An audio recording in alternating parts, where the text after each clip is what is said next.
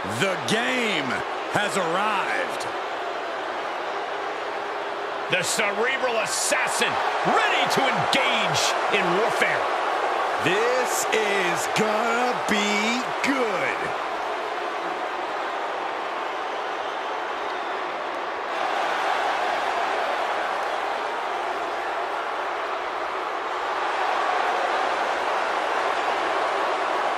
The following contest is scheduled for one fall.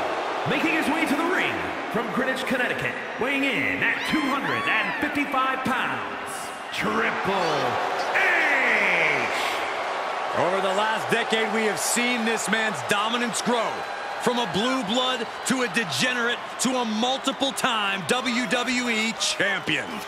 Indeed, Triple H has solidified himself at the top of the food chain in WWE, and he has no plans on stepping down anytime soon.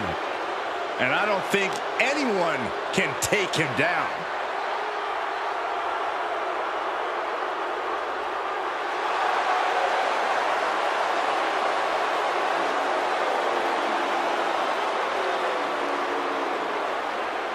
If he is not prepared heading into this match, I guarantee you he's going to be the subject of unspeakable horrors courtesy of Kane.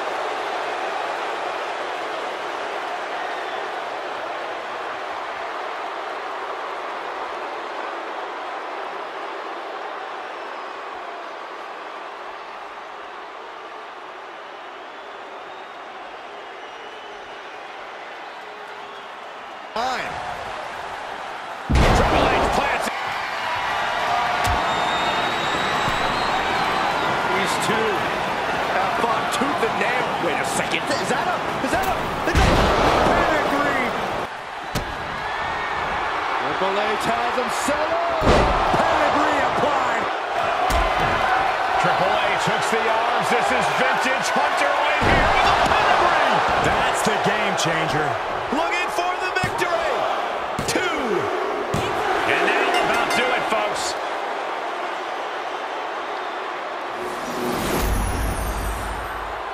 Here is your winner, Triple H! A momentous win here for Triple H. The Devil's favorite demon may have been on the losing end tonight, but you can bet he's already drawing up a sadistic plan for revenge.